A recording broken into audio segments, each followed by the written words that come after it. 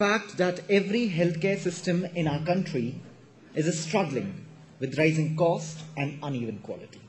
There are gaps, and ironically, we know those. We have people, we have ideas. Healthcare leaders and policymakers have tried countless incremental fixes and taken programs on a mission mode, but none have had great impact.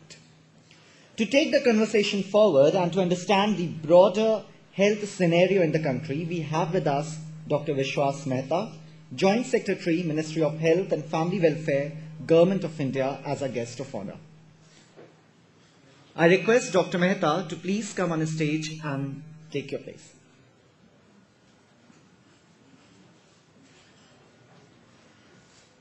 For, the, for this session, Dr. Vikas Goswami to please come on stage.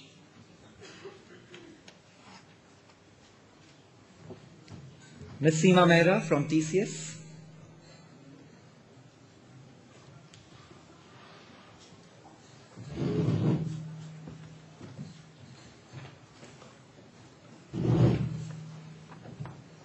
Thank you Ms. Laura Donovan from Partners in Change, Chief Executive.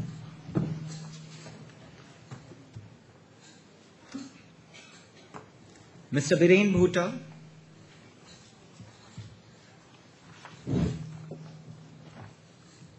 K. Chandrasekhar, founder and CEO of Forus, uh, Forus Health Limited.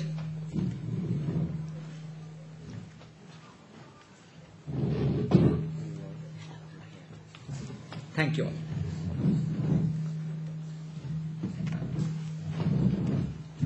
Ta, our guest of honor, joined the, joined the Indian Admin- Administrative Service in 1986 in Kerala, Kerala.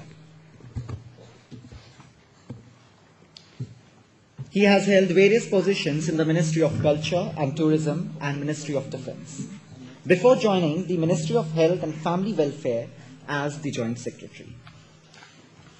Apart from all this, he apart from leading these positions, he is a versatile singer, and you can actually uh, YouTube his videos. In fact, we did that. So I would request Dr. Vishwas Mehta to please come and enlighten us with his perspectives and share his views.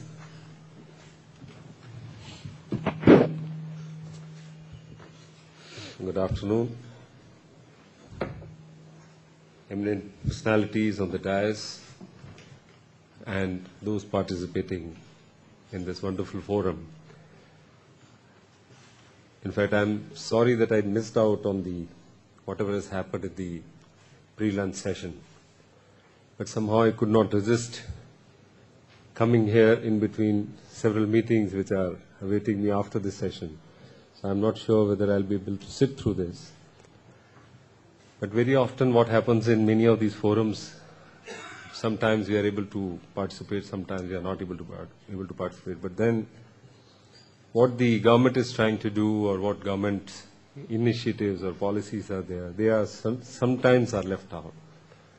Government by and large is a misunderstood entity because no matter what you do, no matter what you do, the somehow it doesn't reach, and what reaches is not newsworthy.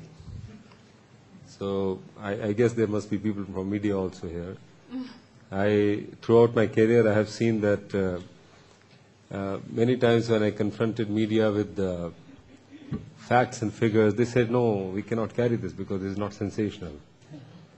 Well, I deal with human resources in health in in uh, the Ministry of Health, but primarily I am dealing with the medical education. That is the all the four major regulators: Medical Council of India, Dental Council of India, Nursing Council, and the Pharmacy Council of India. So you can see my hands are full. Dealing with four major regulators who are primarily responsible for the human resources in health sector, each one of them very, very important in their own way, is not an easy task. I just want to give you uh, a broad picture and then we'll talk about why, what means, what CSR actually means in terms of uh, what we are trying to do. In India, we have perhaps the largest number of medical colleges in the world 387 medical colleges. We produce 50,000 graduates, MBBS doctors every year. Out of this, about 23,000, almost 50% are postgraduates, the specialists studying through these colleges. 387 medical colleges, 181 are in the government, and you have 206 who are in the private sector. The growth in private sector has happened in the last one to two decades. Government was primarily responsible for setting up medical institutions because there were not many people interested after the independence to set up these institutions. If you look at dental education in the country, we have 306 dental colleges in the country. Only 41 are in the government. The rest, a very large number, is in the private sector. We produce about 25,000 dental doctors. The number of postgraduate seats or the specialist is only about 5,000. That makes about 20% of people who specialize in dental education. Nursing, what is the number? We don't know. Because numbers vary. There's no authentic documentation. 90, 95% nursing institutions in the country are run by the private sector. State governments have set up nursing colleges, nursing schools, ANM training schools, nurse midwifery schools, GNM nursing schools, all kind of institutions. We have a nursing council as a regulator established in 1947, which is primarily responsible for what is happening in the nursing sector. If you look at the Dental Council Act, that is 1948. If you look at the Medical Council Act, MCI, that is 1956. If you look at the Pharmacy Council Act, PCI, it's also 47, 48 vintage. Most of these regulators were, were set up after the independence. Some acts, some regulations have changed, but many have not. Medical council is a hot potato which everybody wants to deal with. The politicians, the businessmen, the bureaucrats, the entrepreneurs, everybody. Because everybody wants to become a doctor. Now, I'm very sure people who are dealing with health here know that in this country we have only half a doctor for thousand people.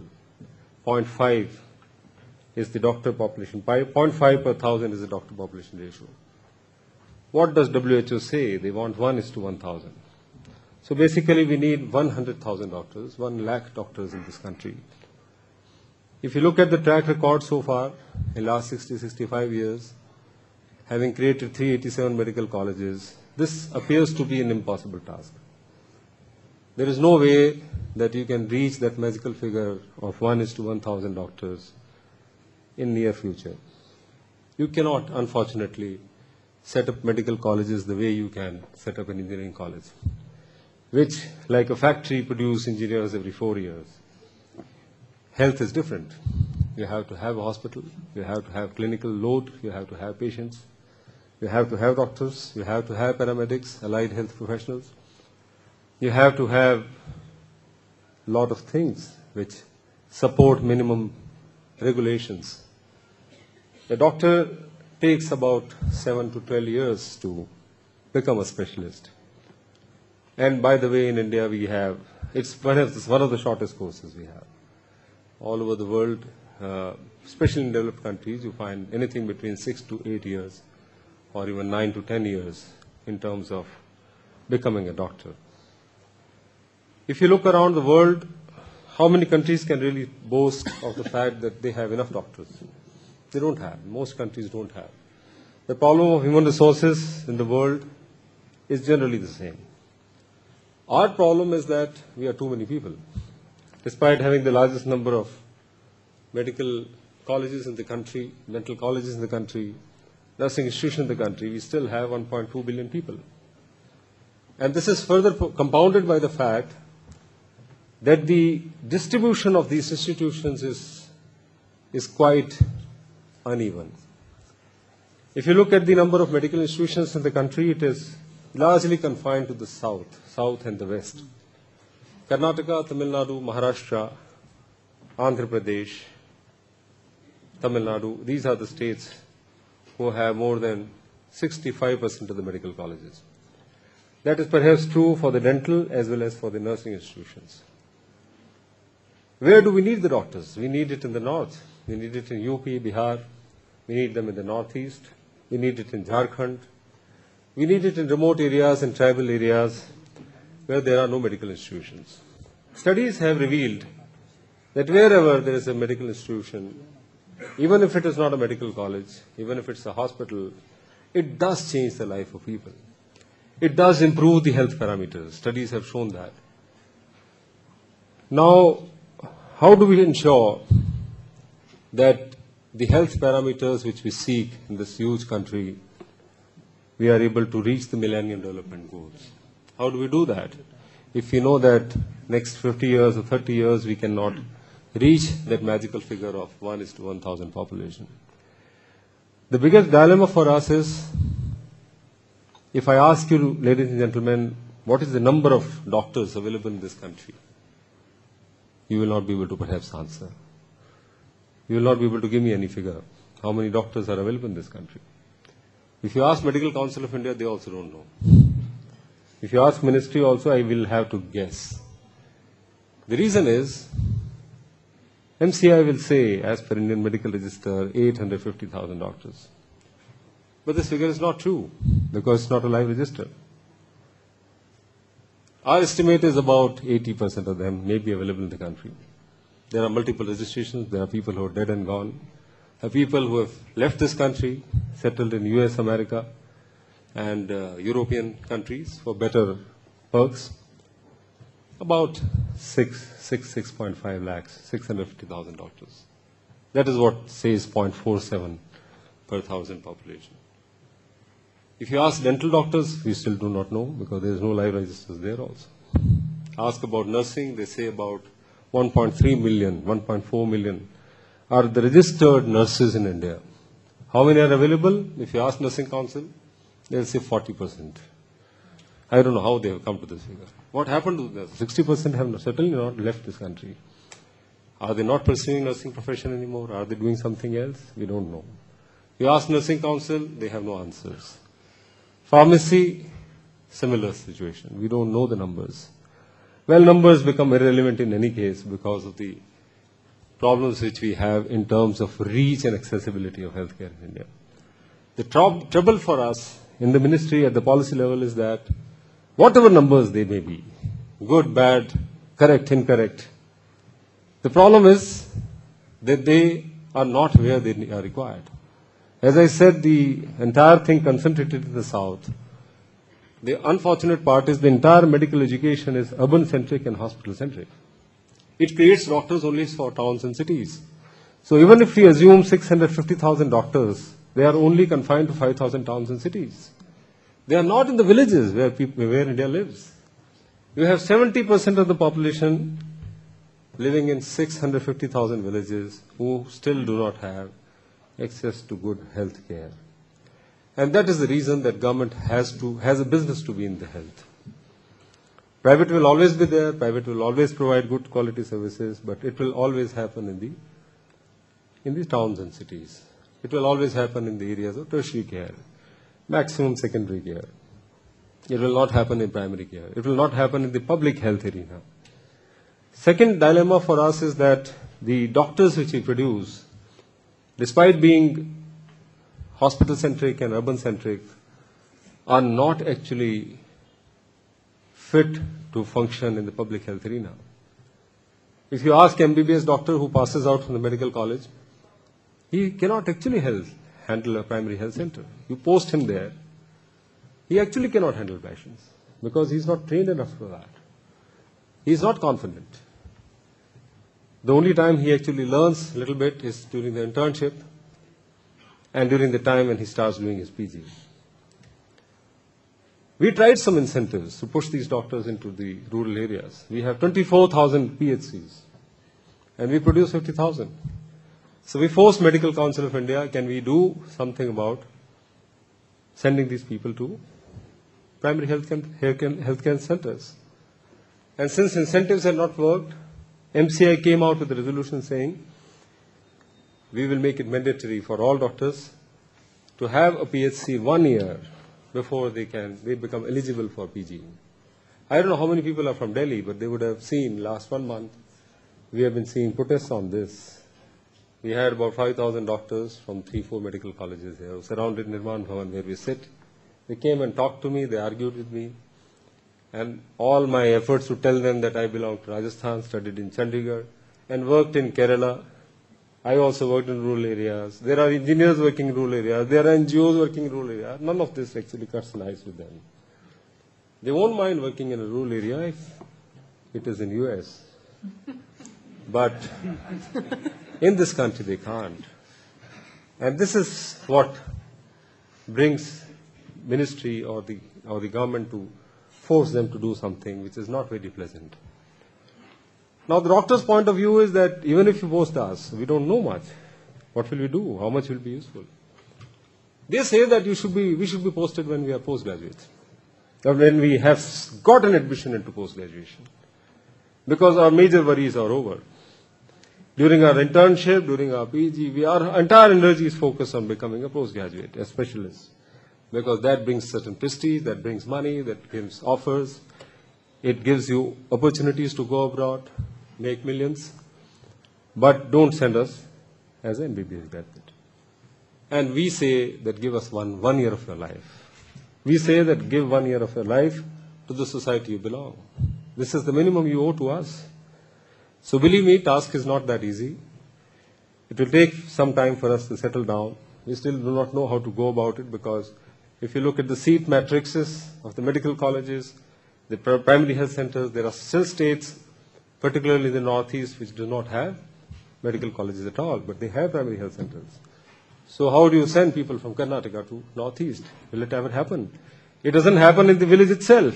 It doesn't happen in the state itself. Then where is the question of sending them from 3,000 kilometers to another place? It won't work. Even if they go there, they will give whatever remuneration is given to the medical officer, mark attendance and come out. And third problem is that how effective they will be. So ladies and gentlemen, what we have decided is that it is time for us to look at other options. There's no point in looking at options which is not going to work. The doctor-centric approach has to end. And we are looking at options like middle-level health service providers. We have recently come out with a course called Community Health Officers, CHOs. These are boys and girls who will be picked up from the district, will be trained in the district hospitals, and will be redeployed in the sub-centers where no doctors are there. There are two states, Chhattisgarh and Assam, who brought out their own laws to provide the middle level service health providers. Chhattisgarh, initially it was very good. It did made a lot of difference in the ground situation in Chhattisgarh. But very soon it became a big problem because they directly came into conflict with the doctors. And believe me, doctors are very, very strong lobby. I have handled them for a long time. Those who are doctors here will certainly realize. I was health secretary in Kerala. I know the doctors who were close to a particular party next year will come who are closer to the other party too. After all, all of them are their patients. So are we. So are we. The current scenario, I have seen doctors who can do anything to see that they are not disturbed from the, from the environment in which they are working.